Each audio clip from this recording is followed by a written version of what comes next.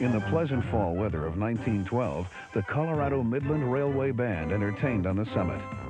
However, our time on the summit is over, and we must begin our return.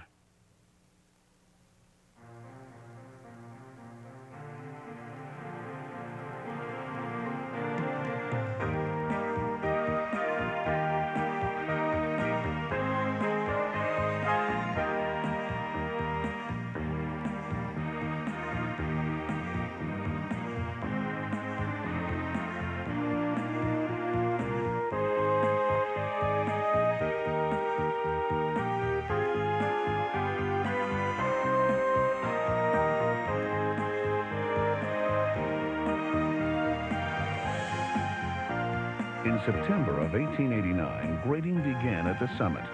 A four-foot November snow ended work above timberline.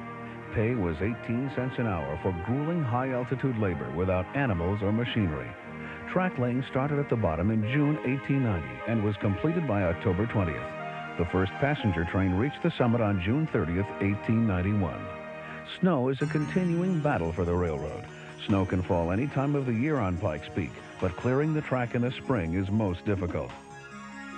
From the earliest days, snow was removed by pushing a flat car plow into the drifts. The plow is backed away and men shoveled the snow off the car, a grueling job at these high altitudes. By 1973, snow removal still had not changed much. A diesel locomotive now pushed the flat car plow into the snow and backed away with tons of white powder, while men still suffered the task of shoveling that snow off.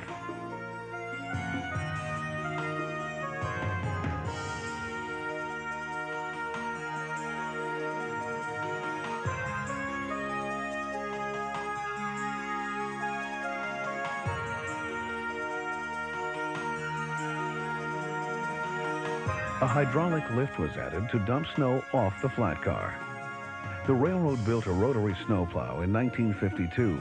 The machine was not completely successful, and the old plowing method remained.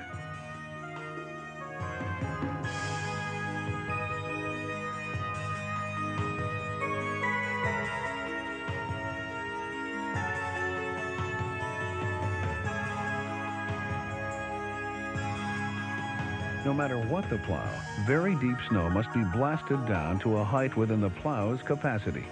Explosives are tamped into a snow hole and detonated.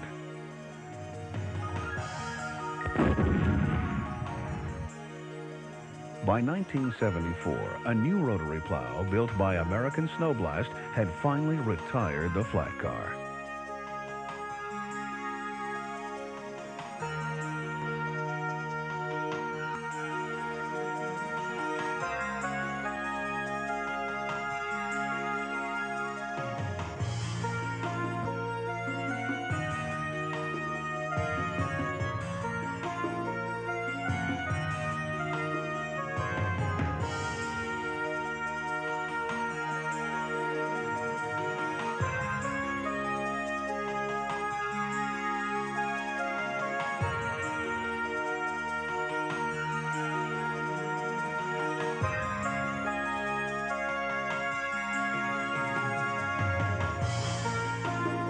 The new plow resembles and works like a giant snowblower.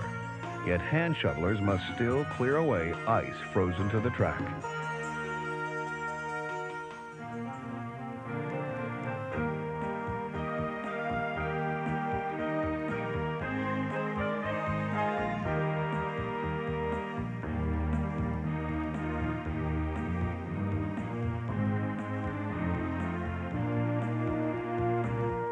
Like all gears, the rack rail must be lubricated. In early years, an employee applied lubricant to each tooth with a brush. The lubricant hardened every few hundred yards and a fire was built to soften it. It took a month to traverse the railroad. Now, automatic lubricators are on the trains.